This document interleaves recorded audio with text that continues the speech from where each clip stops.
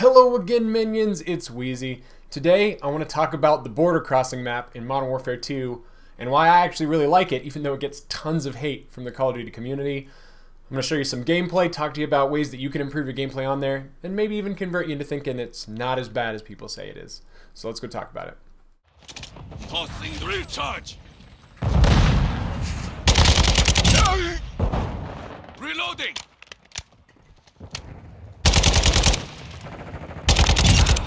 Loading.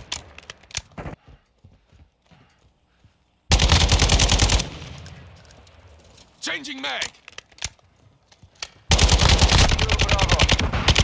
Reloading. Last mag. Okay, so let's start out by talking about why most people seem to dislike or outright hate the border crossing map. In fact, a lot of people have said that it's one of the worst maps in Call of Duty history, which I don't understand. My initial impression of the map was actually along those lines. I was very like off put by the map. The fact that it's so long, it's not very wide, but it's very, very long, which is very unusual for a map layout in any game, but especially Call of Duty. Um, for me, typically the three lane map design is a standard of good gameplay, and that is actually um, largely present in this map, but in an interesting way. But I think the reason that most people hate it is because it's really long, um, it's very narrow, which can feel like you get funneled in because there's so many cars in the main area.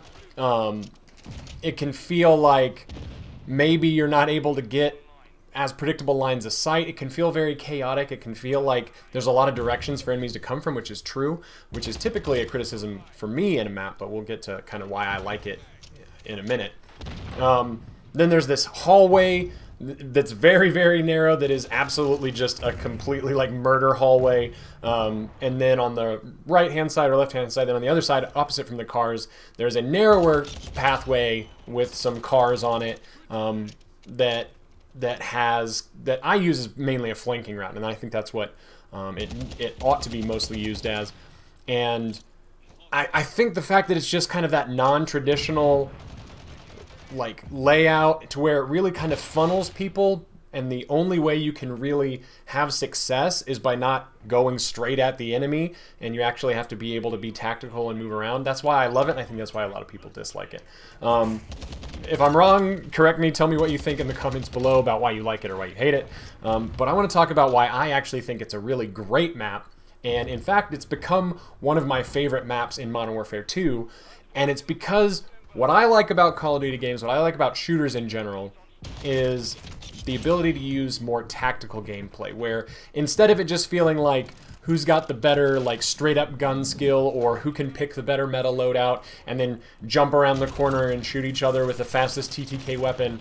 I like a game where you can use a variety of weapons, you can use your strategy, your tactics to outsmart and outplay your opponent. And yes, gun, gun skill comes into an aspect of that, but superior tactics and strategy can outperform gun skill any day of the week if you do it right. And I think that's what this game, this map specifically really does, is it gives players that opportunity if they know what they're doing to to use more of a tactical gameplay and to move and and adapt to the game more strategically um, in a way that a lot of other maps don't really provide.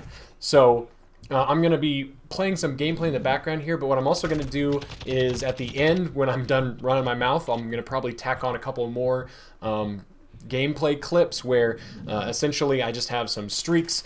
That's what I do in general is I capture good gameplay clips where I have longer streaks. And uh, so I went through all my streaks that I've built up from Modern Warfare 2 so far and, and grabbed all the ones that were from Border Crossing. So I'll play some of those so you can see how what I'm about to talk about as far as strategies and tactics you can use on this map, how they apply, and how I use them in my gameplay to get a good streak going. Um, and so I'll start out by saying that the main pathway of the map, where most people go, is actually not where you should spend most of your time. You're definitely going to need to go there Uh, partially, especially depending on how the other team uses the outside flanking route, as I'll call it. So there's kind of the main road, the hallway, and then the outside flanking route is basically how I'll refer to this. Um, and in the main area where most people bunch up, there's going to be a lot of explosives thrown around. There's limited, the lines of sight are actually um, limited, which is good. So even though it's a very long, straight uh, map, like in that core area, there aren't a lot of really super long lines of sight unless you climb up on top of like vehicles or buses, which is very much a risk reward scenario because it makes you an easier target because people can see you from further away, although it does give you more of a visibility. So in general, I would say use those spots very sparingly. If you're going to be in the main road, you really want to stay lower to the ground and you want to well, stay on the ground and you want to move tactically through the cars instead of trying to find a position where you can just get up and look at people uh, coming towards you, um, which I think is going to get you killed a lot and get you frustrated. I think that's why a lot of people don't like the map.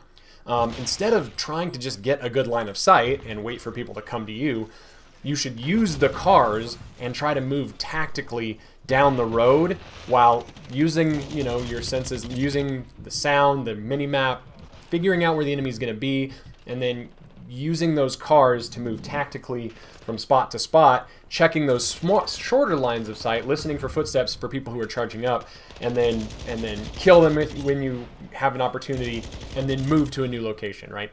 This is not the kind of map where you can pick a spot, sit there, and wait and have a lot of success because there's a lot of op opportunities for flanking or different angles. So you actually have to be able to move tactically, keep moving, adjust positions if you want to have success. Sitting in an area and locking it down isn't going to be very effective on border crossing, which is one of the reasons I really love it. Um, the hallway area is a use it sparingly and avoid it as much as possible situation. I really like the way they have it set up so that the hallway, the entrances to the hallway aren't straight across, so you can't run straight in one side and straight out the other side of the hallway. If you want to use the hallway to cross from the main road to the flanking route, you have to either go into the hallway and go up and out, or go back and out. So there's really an interesting flow with how those hallways are used.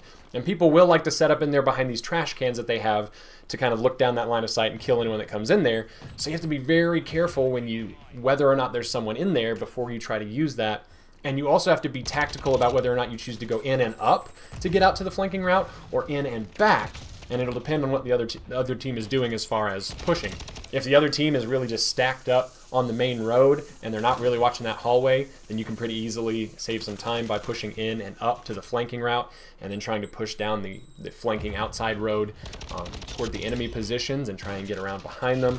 Um, but if they are covering in that area and watching back, then you'll have to, A, you don't necessarily want to challenge someone that's in an established position, so you might have to use the main road to move up to the next spot behind them and try to clear them out, in which case you can then move further back down that hallway and then move out into the flanking route and then move back up. Um, or if you're feeling kind of saucy and you're pretty certain that someone's not going to be jumping into the hallway from further up, then you can continue to push forward. So so being able to manipulate and control that hallway and knowing how to transition back and forth between the main road and the flanking route is really, I feel like, the core gameplay aspect of this map. And then beyond that, being able to control and use the flanking route is really what makes this a win or lose map, in my opinion. Um, depending on the game mode, um, but the, really the situation is if you can use that flanking route effectively to either get halfway down that main road and get in and attack the enemy, or all the way back to the enemy's spawn side and then kind of work in from behind, um, if you can't do that, then it gets to be a bit of a stalemate. And the good thing about the way the map plays right now, which may change over time if more people figure it out, um, is that most people stack up on the main road, and there's only usually a couple people using that flanking route. So you have to be careful because by virtue of it being um, the more the the better route to use, but it's also more difficult because you have to figure out how to fight your way through the hallway to get to that flanking route. When you encounter people out there, a you need to win those fights because your team's not going to be able to win if you can't control that flank route. And B, you're probably the people you're going to run into out there are probably going to be the smarter players because they know that they shouldn't just be running up the main street. So when I when you see my streaks and you see my gameplay on this, you're going to see that I will heavily use that flanking route. Um, I'll use the main street sometimes, and depending on the objective or what we need to do, if it's domination and we need that B point by the bus, or if it's hard point and the hard point is in the main street area, then obviously you need to get out there, and that's when you're going to use those cars to control short lines of sight.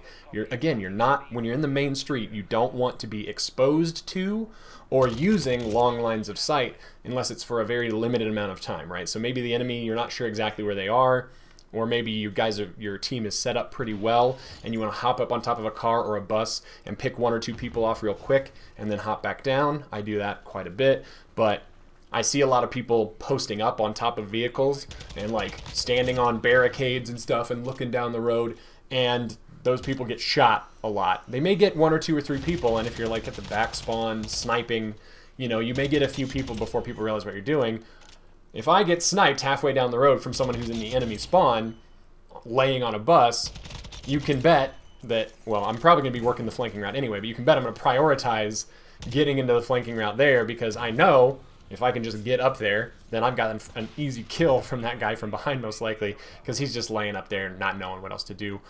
Alternatively, you could easily take out someone like that by just picking your own sniper like I said, because there are these longer lines of sight like that, when someone's in a predictable position and they've killed you from on top of a bus on the other end of the map, there's like 17 places where you could get to to get a, an angle on them and shoot them, and they can't cover all of those. So if you want to do a counter snipe, that can be effective. I'm surprised that up to this point, I haven't seen a whole lot of counter sniping, like big sniper duels on this map. I'm pleasantly surprised I haven't seen that because I think it would be pretty shitty to do that, and I don't think it would really last all that long just because of the flanking routes. But um, anyway, that's how you could kind of deal with that situation.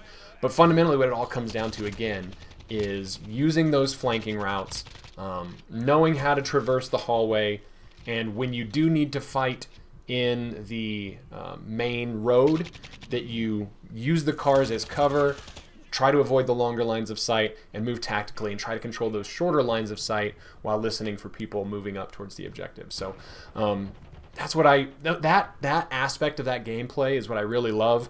Um, really briefly, there are the spawn sides where there's a couple of like those you know the administrative buildings. Sometimes the fighting can push in there, especially in hardpoint when they put a hardpoint in there. But in general, that's not a huge part of the map, and that plays those sections play more closely to the rest of the Call of Duty maps where um, you know you have to be able to control a building and stuff like that. I have seen teams that don't that don't know how to play the border crossing map, especially in like deathmatch or kill confirm modes, try and just sit in that building and lock it down. Um, which with drill charges and stuff like that in, in Modern Warfare 2, it's not a very effective tactic. But I've seen people try it, and it's just it just shows right? The reason why a lot of people don't like border crossing is because a lot of people in call of duty the only way they really know how to have success is to sit back in an area where they can predict where people are coming from and wait for them to come around corners and shoot them. And if you're a good camper then you'll relocate after you kill two or three people coming from the same spot so that when they come back to revenge kill you you're not where they expect and you'll kill them again. That's most people's call of duty gameplay. So i can understand why they don't like border crossing Border crossing requires you to move tactically, to play smart, and to be good at, at shooter tactics. Um, I think that applies to all of the maps in the game as well. You'll have an advantage. You'll be better um, if you know how to move tactically. But Border Crossing is one of the few maps that actually kind of requires it, and you won't do well unless you know how to do that. So that's why I really like it. I think that's why a lot of people don't like it. If you feel like you don't like it, and maybe some of that kind of rang true to you, and although maybe it stings a little bit, then check out my Wheezy's War College videos and stick around here because I'm going to do more videos around strategy and tactics. There's plenty of stuff out there about meta gun builds and meta weapon builds and using fucking you know, ranking up your weapons quicker by going to kill confirmed and using fucking decoy grenades. Don't fucking do that. Okay? You're going to get like 200 extra experience and you're running the. Sorry. Don't worry about it. It's fine. Other people can give you all those meta weapon builds. I will show you stuff about like the gun builds that I kind of like or that I'm using, um, but but don't expect a whole lot of here's the current state of the meta from me. Expect more of what I really enjoy about shooters, which is tactics, strategy, you know, playing smart, using a variety of weapons. I like variety in my shooters. I don't like being stuck into the only two or three weapons that work. Modern Warfare 2 so far is really great in that there's a shit ton of weapons, and all of them are viable in their own way. Some are obviously better and worse than others, um, but I've been having a lot of fun playing with LMGs and shotguns, and uh, I played mostly with a bunch of assault rifles. I haven't even gotten to touch the marksman rifles or sniper rifles yet, so I'm looking forward to that. Um, and I've not really even touched the SMGs hardly at all. So there's a lot in there, a lot of fun to have. So I'll be coming out with content as much as I can related to those various things. Um, and again, you know, strategy, tactics. I have my Wheezy's War College videos if you haven't seen those. Map movement, strategy, tactics, using your mini map. And I'm going to be doing um, newer versions and updated versions of those as we go. But there's good value there if you want to just get better at shooters in general.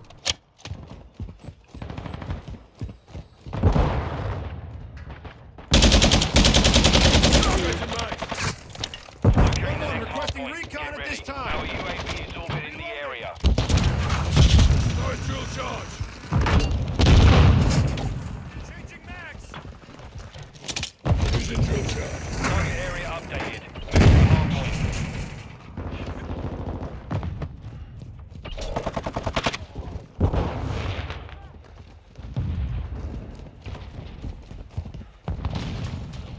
Switching back.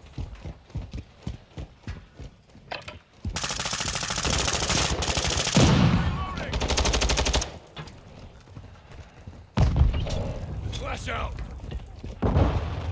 Friendly UAV online. 못돼. Enemy personnel at the hardpoint.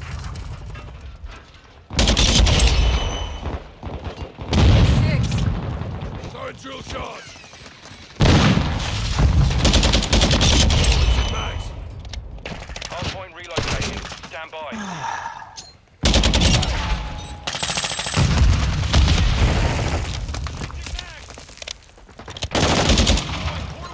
Getting near. Hardpoint Using relocated. DDoS. Target area.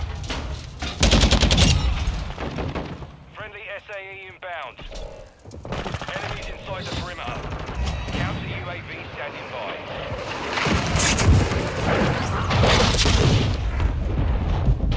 Counter UAV online. They're blind. Solid copy. Counting Loading. UAV running signals interference.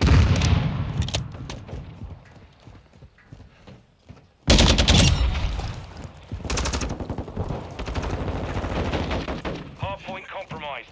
Secure the area.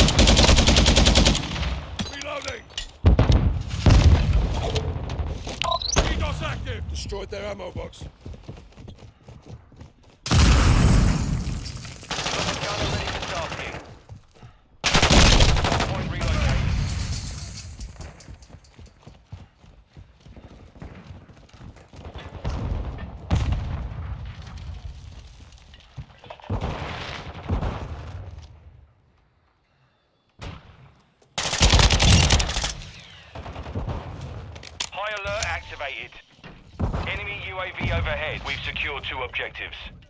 Care package in the area. Changing mags. Throwing flash grenade.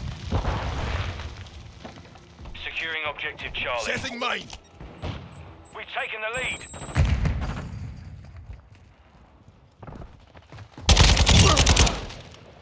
Uh-oh.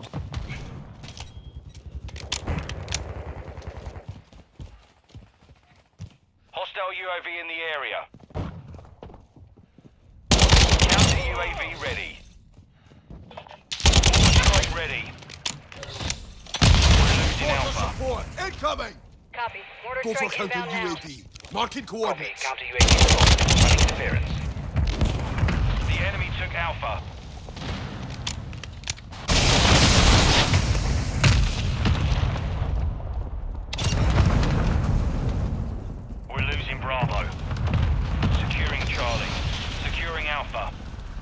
UAV is down. We hold the advantage. Take it up. No effect on target. We control Charlie. Enemies taking Bravo. Our counter UAV is active.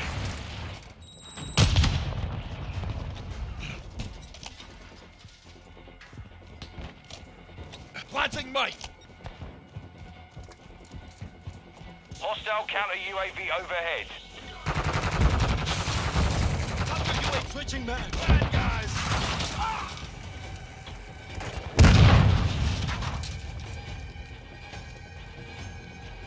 We control two objectives. Enemy UAV overhead. Taking fire.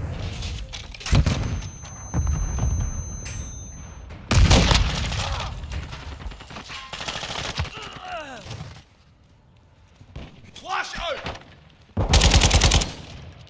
Setting mine.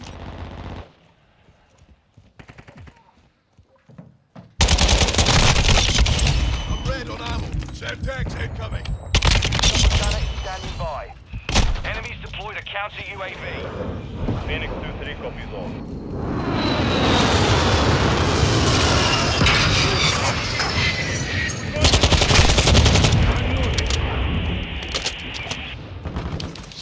Really? Roy, brute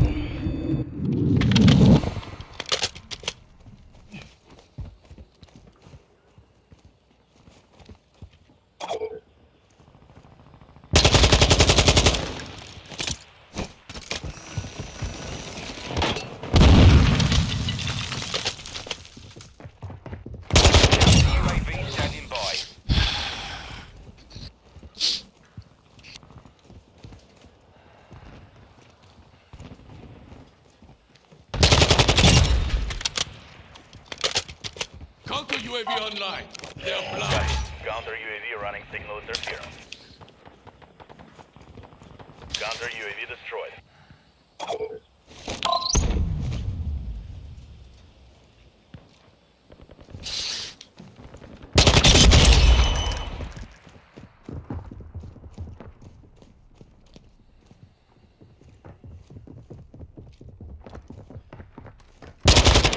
standing by.